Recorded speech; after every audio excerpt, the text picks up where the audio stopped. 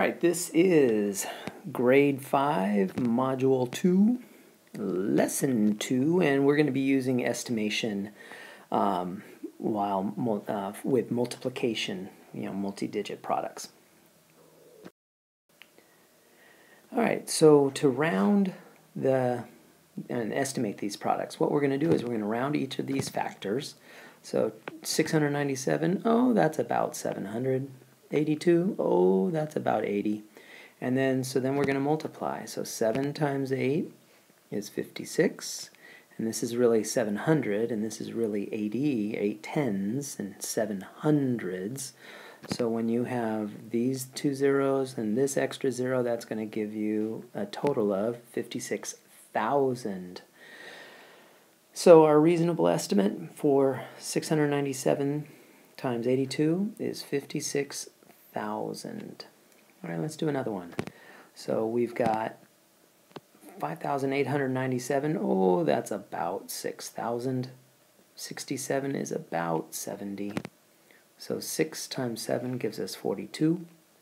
And this is really 6,000, so we have those three zeros. And this is really seven tens, so we have that zero. So that means our answer is going to have those extra zeros there, that 10,000.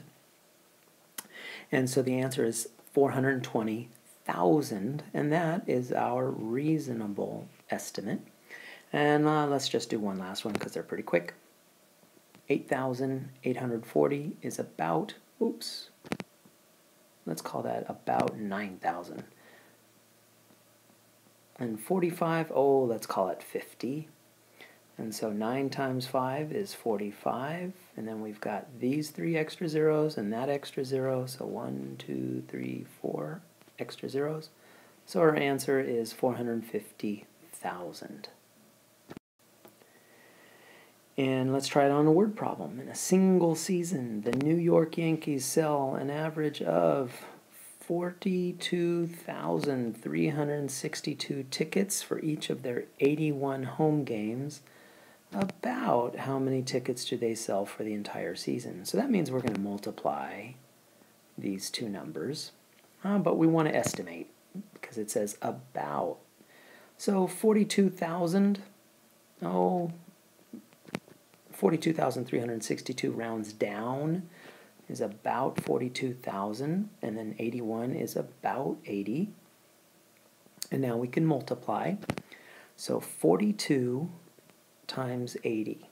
All right, so now, by the way, you know what I, well, let's finish this one first. So that's 33, 336, and then we have these three zeros plus this extra zero, one, three, four.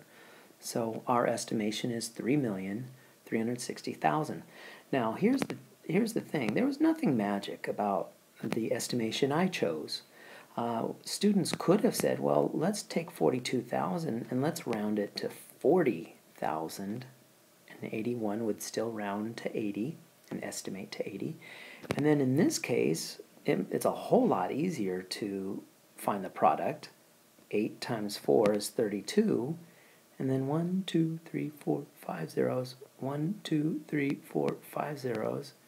So up here, our estimation is 3,360,000. Here our estimation is 3,200,000 and those are pretty close to each other estimations. So one's a little bit more accurate than the other, but it doesn't really matter. Students can choose whichever estimation uh, they want to use. And that is lesson two from the fifth grade module two book.